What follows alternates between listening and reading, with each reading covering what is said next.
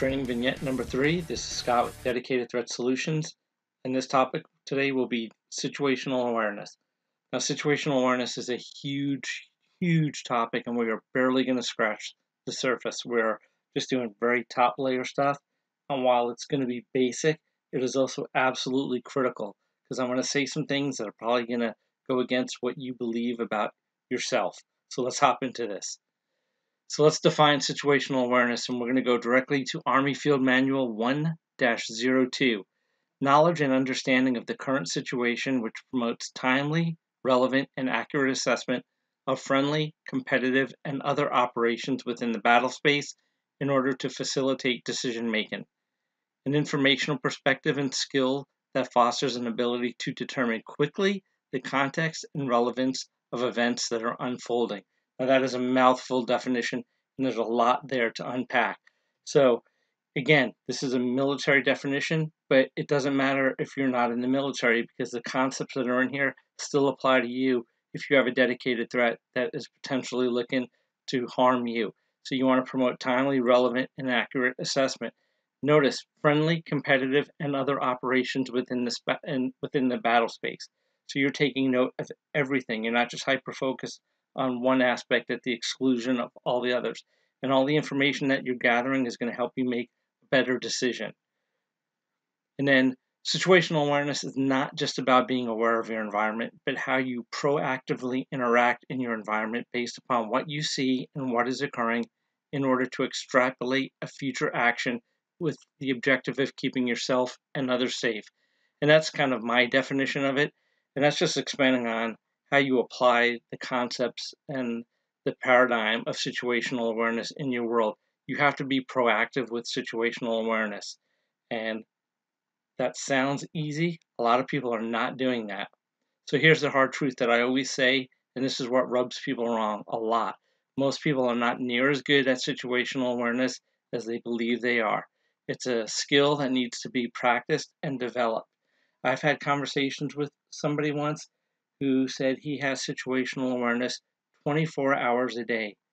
Uh, to which I responded, Do you sleep? And he said, Yes. I go, Then you're not situationally aware. To which he just started arguing and saying he was. It is what it is, you know. Um, but situational awareness is a skill. All skills need to be practiced and developed, and it's no different with situational awareness. The problem is we hear it so often that we just assimilate and assume that we are already good. We just assume that, hey, my head's up, I'm looking around, I'm good. But there's a lot of mental skills that go in with situational awareness that I guarantee you a lot of people are not practicing. They're not building those skills and they're not developing their situational awareness. They have a false sense of security because they think they're situationally aware when they're actually not. So I took these photos in downtown Phoenix, Arizona, and I wasn't even hiding the fact that I was taking these photos, and both of these guys had no idea because they're in that 45 degree syndrome with their heads buried in their cell phones. Cell phones are one of the worst devices for situational awareness because it's taking us away from our immediate environment and we're focused on our phone to the exclusion of literally everything else because a lot of people that are on their phone also have headphones in. So when they're on their phone, all of their vision is on the phone. And if they have the headphones in, their hearing is limited as well. So two of their major senses, vision and hearing, are now almost completely gone. The reality is, is you cannot respond to a threat that you do not know exists. And while that's common sense, like I said, a lot of people think they're way better at situational awareness than they really are, and they should be wearing this button because they're walking around and they are not aware of what's going on in their environment. So, situational awareness is impacted by what you see and what you observe. If you gather too little information, you're not going to have full scope of the environment that you're in. And on the flip side of that, if you gather too much information, you're going to quickly get information overload which is going to do two things. It's going to slow down your decision making process, or two, it's going to completely shut it off and you won't respond to any potential threats. And both of those situations are bad. So there's a, a real balance act with situational awareness. So, a practice drill that I want you to work on For the next week, your task is to identify all entry and exit points for each location you visit. So, this is uh, to help you develop an evacuation plan should you need to escape an area uh, in a more rapid manner. Now, I know what you're thinking. No, I'm not doing this drill because I already do it. No, I, I doubt that you really are because most people say they do this, but in reality, most people are not doing it. Because when I go out and I'm with friends or other people who are safety conscious people, and I go, Where are the exits? The first thing they do is they lift their head and they look around. Nope. If you have to look around, you don't know where the exits are. So when you go, one of the first things I want you to do is literally scope out at least two entry and exit points of whatever location you're at, whether it's a movie theater, uh, a restaurant, you're at a school, a place of business, wherever.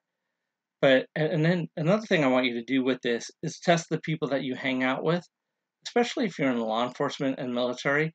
And when you're out and about, just randomly ask people, "Hey, where are two exit points right now?" And again, if they have to lift up their head to look around, they don't know where they are. So again, this seems like a basic drill, and everybody will tell you that they, they already do this and they know the answer. I'm telling you they don't. So it's a skill, again, that needs to be practiced and developed. Another drill I want you to do for the next week, put your cell phone away completely when you're in public. I mean, if you have to if you get a text or something and you want to look at it, or you need to look something up, that's fine. But for the most part, put your cell phone away because then I want you to keep your head up, scan the environment. I want you to take note of what you're seeing, but I also want you to identify potential threats that you would have missed if you were on your cell phone. And I guarantee you there will probably be some threats. And I'm not talking dedicated threat that somebody wants to kill you, but there will be potential threats that you would have missed if you're head down in that 45 degree syndrome. So, some safety strategies when in public. Keep your head up so you can see what's going on around you. Looking is not enough. You can look at an object and not see it. And we hear this all the time when people change lanes and they get into a car accident and they'll tell the responding, Oh, I looked and, you know, boom, I turned lanes and I, I hit that person. Looking does not equate to seeing, and people confuse those two. So when you look, you actually have to see and process it is what you are seeing routinely scan the environment. And when I say this, I'm not talking about in a paranoid or hypervigilant manner. Just head up, look around, look and see what it is that's going on in your environment. What you're looking for is anybody paying too much attention to you. Uh, recently, I was out at a restaurant with my family, and there was a person there by himself wearing sunglasses in a restaurant, and I couldn't. He never moved. Like his he would eat, but his head stayed the same, and it looked like he was staring at it. So it was just something for me to pay attention to. Was he a threat? No, but he was a potential threat. And if I'm head down in my phone or not scanning my environment, I would have completely missed that. And then look for anything that's out of the uh, ordinary. One of the things that I will always say is trust your intuition. Your intuition is right 100% of the time, whether you want to believe it or not. So if you get that feeling that something is wrong, but you don't know what's causing that feeling, what that is is that's your subconscious mind picking up on a danger cue in your environment that your conscious mind has not yet picked up on. Believe it whether you understand it or not and take appropriate course of action. I love this quote from Gavin de Becker. Only human beings can look directly at something, have all the information they need to make an accurate prediction, perhaps even momentarily make the accurate prediction, and then say it isn't so. So, humans, we're supposed to be the smartest creatures on the planet, but we engage in some of the dumbest activities.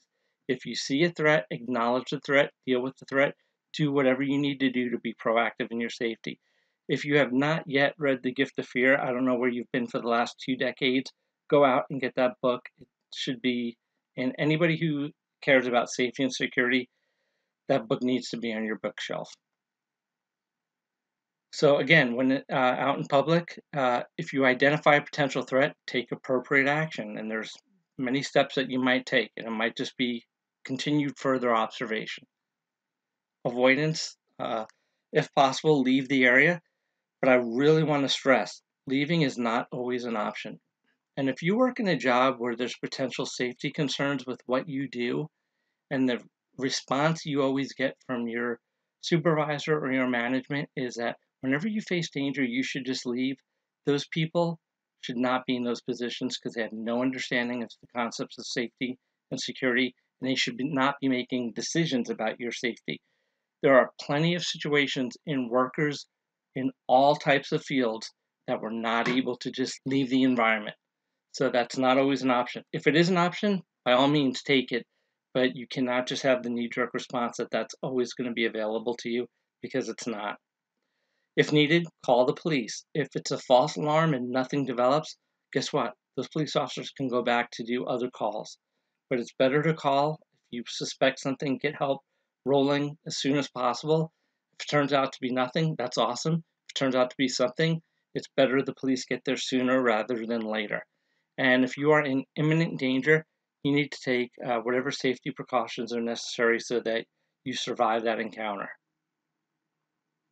Again, to get good at situational awareness requires practice to identify potential threats in your environment and respond accordingly. This is not as easy as people want to make it to be. It doesn't have to be hard, but it does take practice and you, you have to spend some time on it. Those two practice exercises that I gave you, I legitimately want you to do those. If you can't walk away from this video and commit to doing those two things, then safety is not a priority to you, or your level of confidence exceeds what your actual abilities are. Or maybe you actually are that squared away. Again, I got some books on Amazon. If you want to go check those out, please do. I'd appreciate that you want to reach out to me, I'm at info at dedicatedthreatsolutions.com, and my website is dedicatedthreatsolutions.com as well. You can link up with me on Facebook, Instagram, and Indeed, and you can check out my author page on Amazon. And if you're liking these videos, please give it a thumbs up, subscribe, and hit the notification button so that you get notified when I put out some new videos, which I will continue to uh, do. As always, train hard, stay safe.